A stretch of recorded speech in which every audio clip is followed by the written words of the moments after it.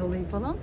Bugün kaçıramazdım netice olarak geldim. Ben çok da e, iyi geçmiş gibi görüyoruz şey e, hamilelik sürecini. İyi geçti Sıkıntı vallahi olmadığını ya. biliyoruz. Evet. Evet evet keyifliydi ondan sonra. Tabii ama son haftalar artık sıkıntı. Hacı yatmaz gibi bir sağ yatıyorum, bir sola yatıyorum. Sıcaklar basıyor. Ayaklarım şişiyor. Olabilecek her türlü şey yaşıyoruz ama tatlıyız. Sezaryen normal doğum belli oldu mu? Normali bakacağız. Olursa olur, olmazsa yani işte her türlüsü. Yurt içi, yurt dışı. Buradayız buradayız canım artık bu saate kadar uçmamışım nereye uçacağım?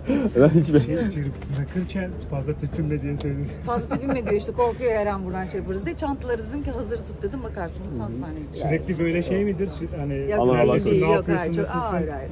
Merak ediyorum. Yok ya ben fazla rahatım o haliyle benden biraz daha şey. Burcu Hanım en tepkili çok neyi yaşardınız bu dönemde? Hiçbir şey yaşarmadım ben ya vallahi yani normal işte eriktir karpuzdur her zaman e, olan şeyler. Yormadım diyorsunuz. İyi, yok, yok, hiç kimseyi yormadım. Kendimi de yormadım. Bebiş de beni yormadı.